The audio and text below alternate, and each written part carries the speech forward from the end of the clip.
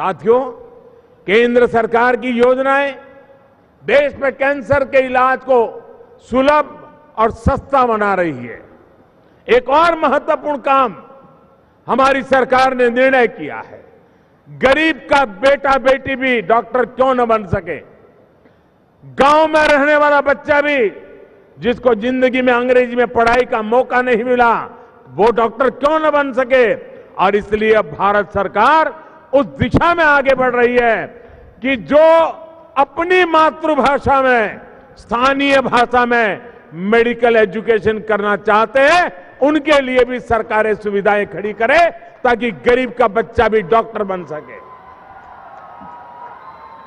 बीते वर्षों में कैंसर की अनेकों ऐसी ज़रूरी दवाएँ हैं, जिनकी कीमतें लगभग आधी हो गई है। इससे हर साल कैंसर मरीजों के लगभग एक हज़ार करोड़ रुपए बच रहे हैं। प्रधानमंत्री जन औषधि केंद्रों के माध्यम से 900 से ज़्यादा दवाएँ सस्ते में उपलब्ध हो। जो दवाई सौ रुपये में मिलती है, वो दस रुपया, बीस रुपये में मिल जाए, इसका प्रबंध किया गया है। इनमें से अनेक दवाएँ कैंसर के इलाज से भी जुड़ी हुई है। इन सुविधाओं से भी मरीजों के सैकड़ों करोड़ रुपए बच रहे हैं। किसी परिवार में बुज़ुर्ग माँ बाप हो, डायबिटीज़ जैसी बीमारी हो तो मध्यम वर्ग, निम्न मध्यम परिवार का महीने का हज़ार पंद्रह सौ दो हज़ार रुपया दवाई का खर्चा होता है।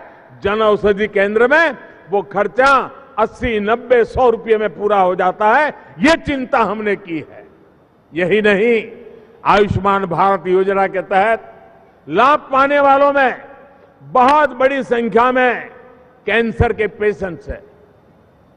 जब ये योजना नहीं थी तो बहुत सारे गरीब परिवार कैंसर के इलाज से ही बचते थे।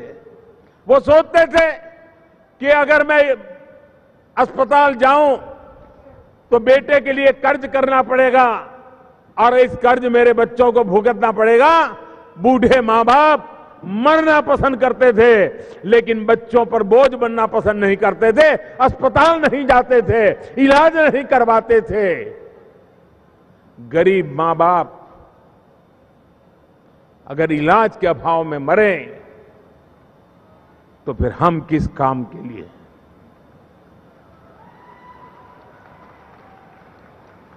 विशेष रूप से हमारी माताएँ, बहनें, वो तो इलाज ही नहीं करवाती थी। वो देखती थी कि इलाज के लिए कर्ज लेना पड़ता है, घर और ज़मीन बेचनी पड़ती है। हमारी माताओं, बहनों, बेटियों को इस चिंता से भी मुक्ति करने का भी काम हमारी सरकार ने किया भाई और बहनों, आयुष्मान भारत योजना से सिर्फ़ मुफ़्त इलाज नहीं मिल रहा है, बल्कि कैंसर जैसी गंभीर बीमारियों को शुरुआत में ही डिटेक्ट करने में भी मदद मिल रही है। असम सहित पूरे देश में जो हेल्थ एंड वेलनेस सेंटर खुल रहे हैं, उनमें 15 करोड़ से अधिक साथियों की कैंसर से जुड़ी जाँच हो चुकी है। कैंसर की स्थिति में तो ये बहुत ज़रूरी है कि जल्द से जल्द बीमारी का पता चले। इससे बीमारी को गंभीर बनने से रोका जा सकता है।